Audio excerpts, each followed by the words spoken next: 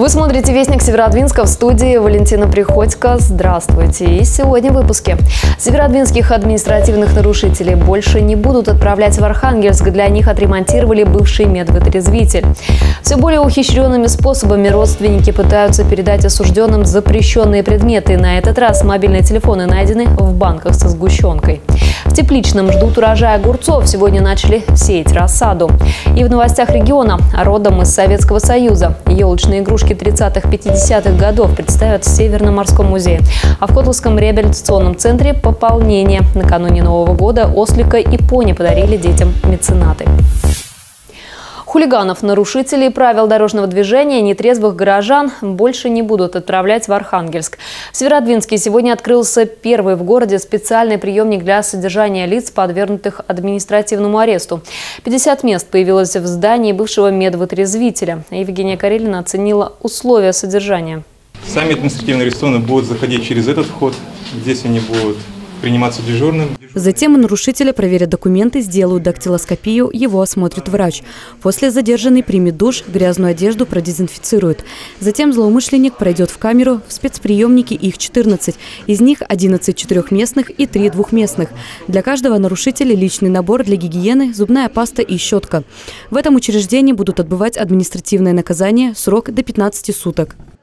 Административный арест назначается у нас э, судьями за неоплату штрафов, за мелкое хулиганство, за появление состояния опьянения в общественном месте, за некоторые нарушения правил дорожного движения, там, где предусмотрен арест – Сегодня первый в Северодвинске спецприемник торжественно открыли. Раньше здесь был медвытрезвитель. Его закрыли в 2010 году, затем здесь располагались различные службы ОМВД. За последние два года здание на Пионерской 42А капитально отремонтировали за 55 миллионов федеральных рублей. Теперь здесь есть и площадки для прогулки, и комнаты для свиданий. Разрешено одно вне зависимости от срока заключения. Передачки хоть каждый день. Раньше административные нарушители содержались в изоляторе временного содержания на Индустриальной, там 36 мест. Когда их не хватало, северодвинцев отправляли в Архангельск. Порядка трех человек в сутки да, Северодвинск ежедневно доставляет в город Архангельск. По словам полицейских, такие спецприемники есть лишь в Архангельске и Котласе. В Северодвинске он приближен к европейским требованиям. Здесь будут работать более 20 северодвинских полицейских и врач. Для них также отремонтированы помещения на втором этаже. Здесь комнаты для переодевания и психологической разгрузки. В спецприемнике есть и туалет для маломобильных граждан. Только за 2016 год э, судами было вынесено 506 решений об административном аресте граждан, совершивших административные правонарушения. За 11 месяцев 2017 года э, уже вынесено 528 таких решений. Первых административных нарушителей спецприемник на Пионерской 42А примет 15 января. По словам полицейских, здание необходимо, потому что не всегда вовремя выполнялись решения суда, просто не хватало мест для нарушителей. Евгения Карелина, Семен Самигулин, Вестник Северодвинска. На какую медпомощь рассчитывать северодвинцам, каким оборудованием может похвастаться заводская больница и как привлекают туда врачей из других городов? Об этом и многом другом рассказали сегодня в ЦМСЧ-58, а технические новинки журналистам еще и показали. Отделение рентгенохирургических методов диагностики и лечения в ЦМСЧ-58 существует 9 лет. В день здесь делают до 10 высокотехнологичных операций. На наших глазах буквально спасли жизнь человека. Сейчас мы демонстрировали пациента с острым коронарным синдромом, у которого имеется нестабильная стенокардия, грубый стеноз одной из артерий коронарного, коронарных артерий, артерий сердца. Мы поставили туда стенд и расширили этот сосуд. Позволили больному избежать э, инфаркта миокарда. За 2017 год в заводской больнице побывали 11,5 тысяч человек. Более полумиллиона северян посетили поликлиники. О статистике не только медики рассказали журналистам на пресс-конференции. Коснулись и технического оснащения. Новый компьютерный томограф – не единственное приобретение этого года. В частности, это УЗИ-аппарат для отделения сосуда, э, сердечно-сосудистой хирургии. Э, в данный момент производится работа, по, заканчивается работа по монтажу нового парового стерилизатора. После выхода из строя колоноскопа были буквально в течение недели заключен договор, и к концу года мы ждем его поставки для выполнения исследований толстой кишки. Э, насколько мне известно, в городе данную операцию, данное исследование никто не производит. За 2017 год в ЦМСЧ пришли работать 28 новых врачей. Невролог из Вельска, кардиолог из Архангельска, хирург из Ленинградской области и на подъезде хирург с Дальнего Востока. Что привлекает специалистов на севере? Кроме опыта, это условия труда. Льготы, оплата жилья и проезда, квартира в строящихся звездочкой Севмашем домах и, конечно, достойная заработная плата. Средняя заработная плата э, врачей она приближается к 70 тысячам рублей к 70 тысячам рублей. Средняя заработная плата медицинских сестер, она порядка 32 тысяч рублей. Разумеется, это средняя заработная плата, например, разница по э, поликлинике и по стационару. По стационару она больше, по поликлинике меньше, но, тем не менее, это та реально заработная плата, которая сегодня есть. В планах на год грядущий участие в федеральном проекте «Бережливая поликлиника» и создание системы менеджмента качества услуг. Мария Воробьева, Павел Пунанов, Вестник Северодвинска. На 695 рублей в среднем увеличится пенсии северодвинцев с 1 января. Об этом сообщила начальник управления Пенсионного фонда в Северодвинске Юлия Синьковская. Напомним, с 1 января выплаты вырастут на 3,7%. Повышение коснется лишь неработающих пенсионеров. У нас в городе их почти 45 тысяч. Еще 24 тысячи работают. Тем, кто получает пенсию на почте, будут выплачивать день в день. 3 января за 3 января и так далее, вплоть до 8 января и перехода на штатный режим работы. Тем, кто должен должен получить деньги 7 января, получат их 5 в связи с выходным на почте. Те, кто получает выплаты в банках с 3 по 10 января, средства переведут до Нового года. Кроме того, с 1 января на 4% повысят зарплату северодвинских бюджетников. Постановление подписал глава города. Муниципальные учреждения должны увеличить на 4% зарплату работников, на которых распространяются указы президента. Кто-то ставит елку, а кто-то уже орудует в теплицах. На Северодвинском агрокомбинате сегодня начали сеять рассаду. Первыми высадили огурцы. Через пару дней даст ростки пчелоопыляемый огурец. Такой сорт планируют взрастить в этом блоке. Сеют зерна постепенно. Сегодня на три теплицы. Следующий посев 29 декабря.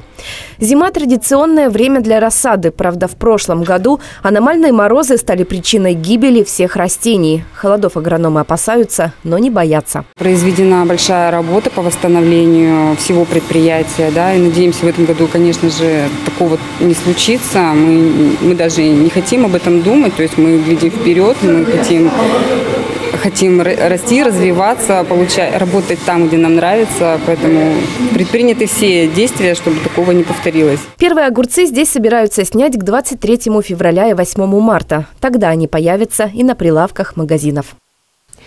Поморье новый поставщик электроэнергии с 1 января это будет не Архэнергосбыт, а МРСК Северо-Запада. С руководством последней встретился глава Северодвинска Игорь Скубенко. Как пояснил зам генерального директора МРСК «Северо-Запад» Андрей Кашин, на гражданах реорганизация никак не скажется. В квитанциях они увидят лишь изменение реквизитов счета. Двойных квитанций не будет. Э, сбытовая компания сейчас выставляет э, за электрическую энергию за декабрь месяц. Там ее будут расчетные счета выставлены. А в новых э, квитанциях, которые будут выставлять филиалах Архэнерго, будет уже выставляться новые расчетные реквизиты самого Архэнерго. Оплачивать квитанции с новыми реквизитами можно на почте или в банке. Предприятие намерено подключиться к системе Сбербанк онлайн. Игорь Скубенко поручил своему заму взять на контроль заключение договоров с новым поставщиком электрической энергии. Бюджетные предприятия должны провести эту работу в сжатые сроки. По вопросам качества детских товаров, а также выбора новогодних подарков можно обращаться на горячую линию Роспотребнадзора. Позвонили уже 63 человека, спрашивают, как обменять товар, какую информацию должна содержать маркировка и другое. Всем обратившимся дают разъяснения, а также оказывают помощь в составлении претензий. Горячая линия проработает до 28 декабря. Телефоны на экране. Теперь о погоде смотрите «Небесную канцелярию». До конца года среда – последний морозный день, затем потепление. Здравствуйте! О метеопрогнозах после анонсов. Смотрите во второй части выпуска. Все более ухищренными способами родственники пытаются передать осужденным запрещенные предметы. На этот раз мобильные телефоны найдены в банках со сгущенкой. Родом из Советского Союза елочные игрушки 30-50-х годов представят в Северном морском музее. А в Котловском реабилитационном центре пополнение накануне Нового года ослика и пони подарили детям меценаты.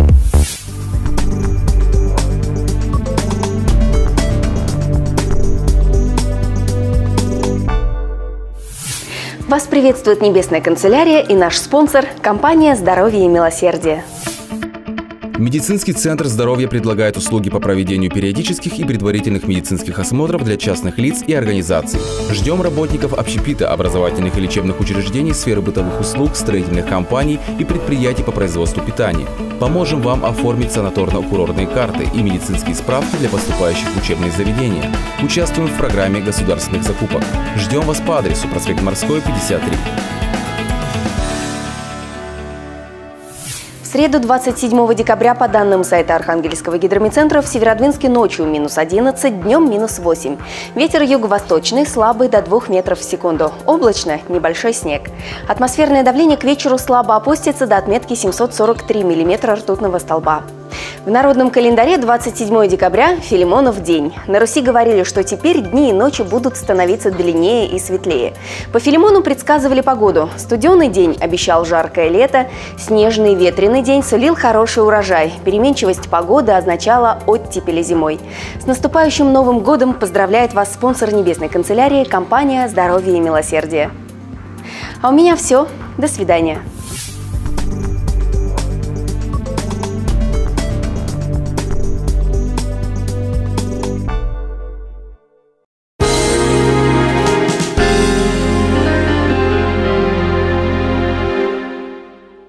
Много лет на защите вашего здоровья. Медицинский центр «Семейный доктор» предлагает широкий спектр качественных медицинских услуг для взрослых и детей. Все виды ультразвуковой диагностики, в том числе УЗИ сердца, плода, оценка проходимости маточных труб. Более тысячи видов лабораторных исследований, лазерное лечение заболеваний лор-органов, герудотерапия, водительские комиссии. Прием ведут только высококвалифицированные специалисты с огромным опытом работы. Болезнь можно предотвратить до начала тревожных симптомов. Медицинский центр «Семейный доктор». Ваше здоровье – наша забота. Железнодорожная, 34. Встречайте Новый год с новой мебелью. Компания «Вектор» – правильное направление при создании уюта и комфорта в вашем доме. Сауны «Капитан Сильвер» и «Бакареш» приглашают всех ценителей отдыха. Для вас просторные парные, бассейны, комнаты для гостей. Все для отдыха с большой компанией. Наш адрес – железнодорожная, 31А. Телефон 8 902 198 36 66. Работаем круглосуточно. Уважаемые северяне, позвольте поздравить вас вместе с коллективом ОАО «Северодвинск молоко» с наступающим, с Новым годом!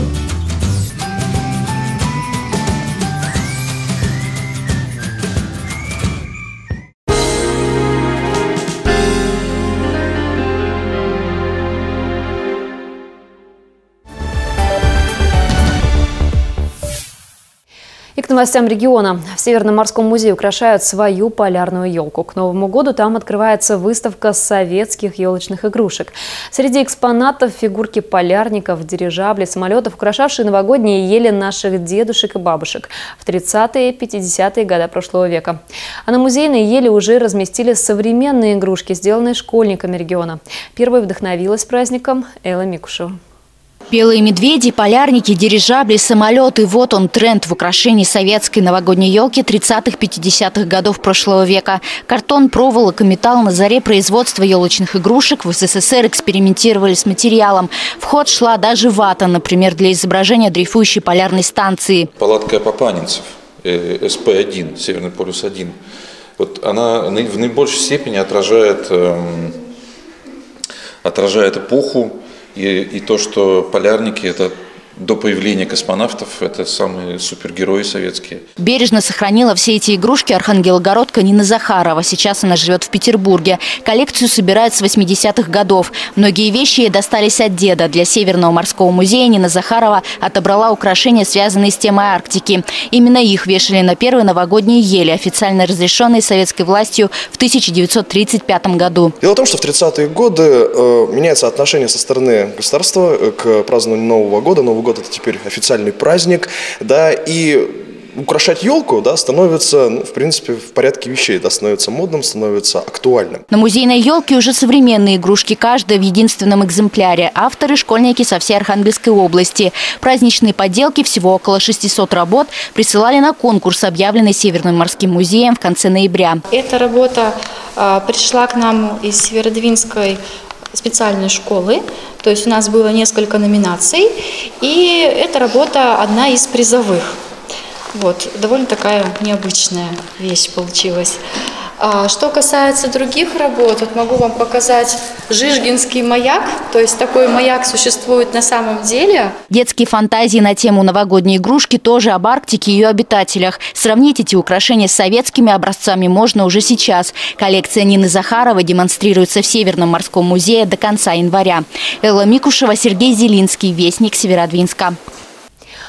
Ослик и пони в подарок. В Котловском реабилитационном центре в канун Нового года пополнение. Меценаты, коллектив электромеханического завода сделали необычный презент для воспитанников центра, чтобы те занимались ипотерапией.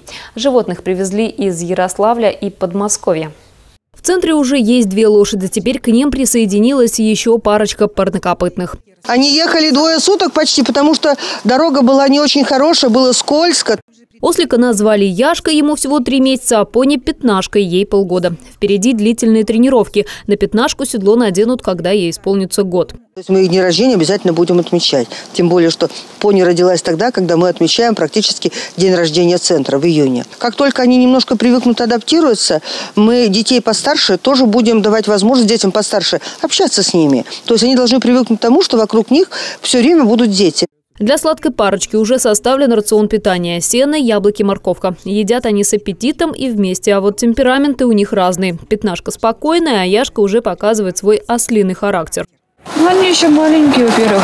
Очень сложно сказать. Но он такой любознательный. Но и в обиду себя уже не дает. Он так хорошо подлягивает. Для реабилитации особых детей и животных будут использовать после обучения. Ипотерапия – один из самых результативных методов реабилитации для таких ребят. Осужденным родственники пытаются передать запрещенные предметы и при помощи квадрокоптера, и даже в банке со сгущенкой. А в северодвинских больницах с нарушением ведут журнал учета лекарств, в которых есть наркотические вещества. Обо всем подробнее в рубрике «Протокол». Спонсор рубрики «Протокол» – магазин «Рыбак». В магазине «Рыбак» вы можете приобрести по сниженной цене прикормки и живые наживки, мотыль в жидкости и опарыши. Акция до 8 января включительно. Магазин «Рыбак», Южная, 34. На помощь рыбацкой смекалке приходят всевозможные прикормки, активаторы клёва и наживки. В магазине «Рыбак» представлен огромный ассортимент по привлекательной цене. Всегда в продаже живая наживка, опарыши простой, красный, крупный, простой в эконом-упаковке, мотыль живой, один коробок, 30 рублей. Внимание! Новинка! Мотыль в жидкости. Прикормка супер универсальная с живым опарышем, черви дендробена и навозные. Большой выбор сухой прикормки для ловли карпа, карася, леща и плотвы. Магазин «Рыбак» на Южной 34 в Северодвинске и на Садовой 8 и окружном шоссе 13 в Архангельске.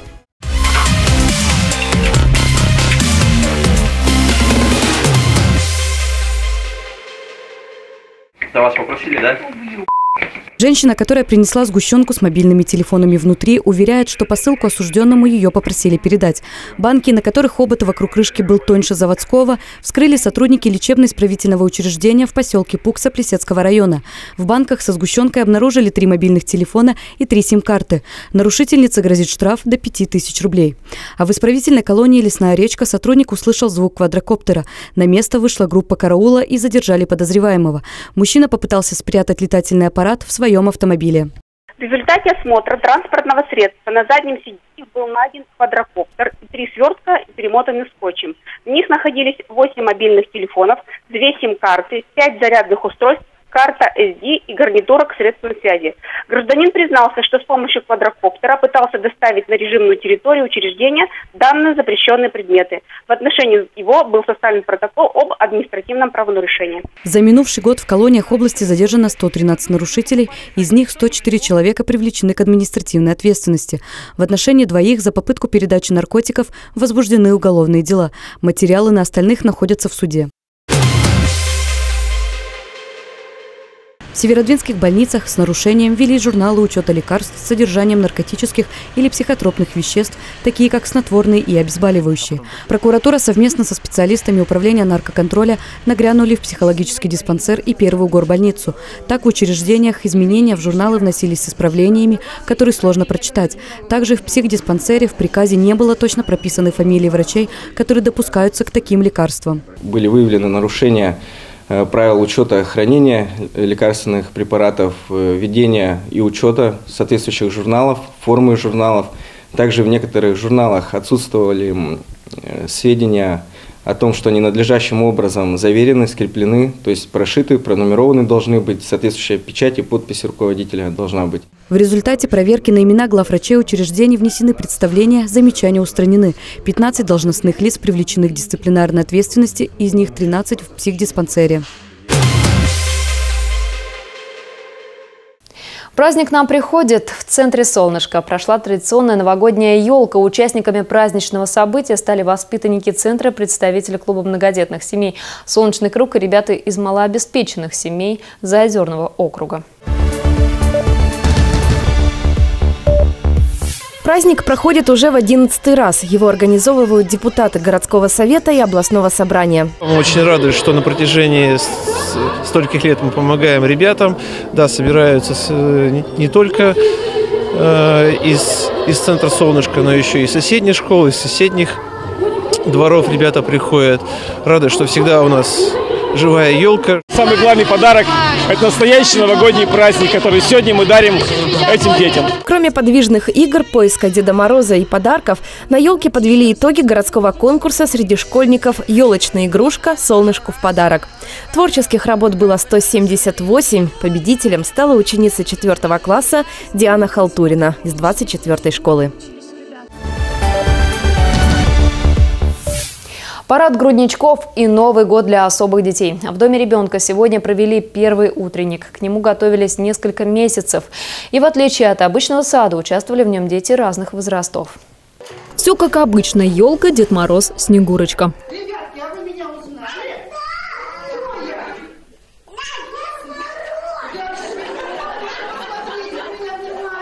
Но каждая группа особенная, как одна семья. У них постоянные воспитатели, нянечки и санитары. Их здесь называют близкими взрослыми. Именно они, а не музыкальный педагог, разучивают стихи с детьми, как дома родители. А уже песни и танцы на общих занятиях. Результат – стихи читают даже те дети, которые с рождения считались тяжелыми. Прогресс на лицо. Те, кто по здоровью не ходят в качестве зрителей, а кто еще из ползунков не вылез на празднике гости. Это часть утренника – парад грудничков. Эта идея у нас возникла три года назад.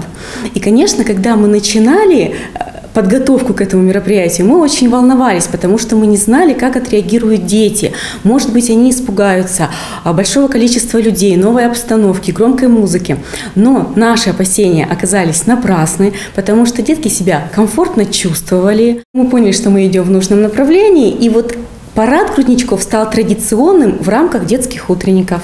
Эмоции детей неподдельные. Им такая социализация, по мнению педагогов, на пользу. К Деду Морозу все дети привыкают заранее. Он задолго до утренника навещает все группы. Здесь и костюмы шьются индивидуально. В этом году, кроме нарядов зверей, шили платье для девочки-дюймовочки Наташи. А подарок каждый выбирал себе сам. Кстати, стать Дед Морозом для этих детей может каждый. Неравнодушных жителей Северодвинска всегда ждут в Доме ребенка на бульваре Строителей 27А.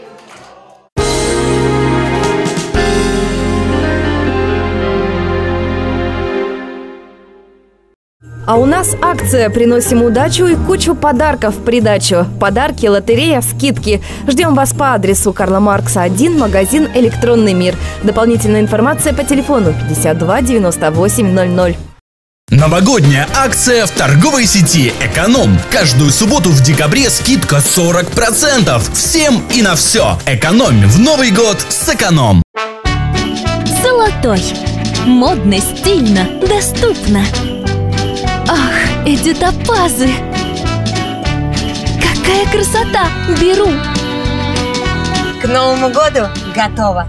Обувное предприятие «Рособувь» город Киров предлагает качественную обувь из натуральной кожи. Принимаем обувь в ремонт. Ждем вас каждый четверг в Доме Корабела на Ленина 14 с 10 до 18 часов. Новогодние суперцены и скидки на всю технику в дискаунтерах «Холодильник». Например, телевизор за 9990 рублей. Сковородка 290 рублей. Кухонные весы за 490 рублей. Микроволновка 2990 рублей. Кастрюля 390 рублей. И чайник 390 рублей. Электрическая печь 2990 рублей. Фен 290 рублей. Мобильный телефон 490 рублей.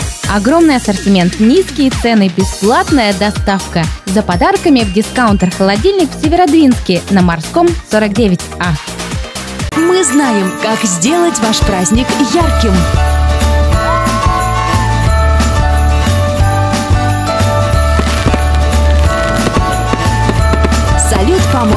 Волшебство, доступное каждому. Внимание! Розыск победителей и участников конкурса модельеров и дизайнеров «Фасон-2018». Десять лет спустя торговый дом «Калаш» возрождает традицию. Призовой фонд более 200 тысяч рублей. Подробности в отделах «Калаш». Престиж Дент рад видеть своих маленьких пациентов в новой современной детской стоматологии. Все виды стоматологических услуг в одном месте. Терапия, ортопедия, хирургия, ортодонтия, рентген, томография и телерентгенография. Вашим деткам у нас понравится. Престиж Дент, Октябрьская 3.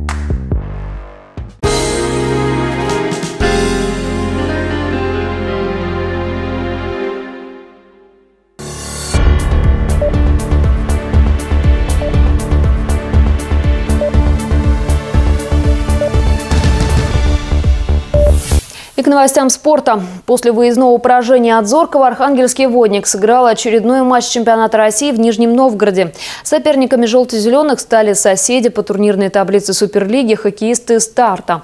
Молодой голкипер водника Михаил Шиляев вновь продемонстрировал великолепную игру на последнем рубеже. Материал Константина Мухина. Перед очным противостоянием «Старт» и «Водник» находились на рубеже попадания в заветную восьмерку. Плей-офф не за горами, обе команды по ходу нынешнего сезона очень сильно лихорадят, что сказалось на их позиции в Суперлиге. Начало матча показало, что в атаку никто из соперников бежать не собирался. Обе команды играли от обороны, выбрав выжидающую тактику. На 16-й минуте Михаил Шиляев вновь отразил пенальти, но экс-полузащитник «Водника» Максим Анциферов стал самым расторопным на добивании. Через 7 минут после розыгрыша углового Иван Козлов сравнял счет. В дальнейшем вся борьба преимущественно проходила в центре поля и обрела еще более закрытый характер. Отметим Михаила Шиляева, который еще несколько раз выручил водник. Итог матча 1-1. Одним словом, вскрыть оборону водника мы не смогли. И могли и проиграть также. Были у них очень опасные контратаки. То есть игра такая была. Наверное, у водника даже было, возможно, больше моментов таких явных. Ну, вообще, если как покрой хватает за ту команды. Да?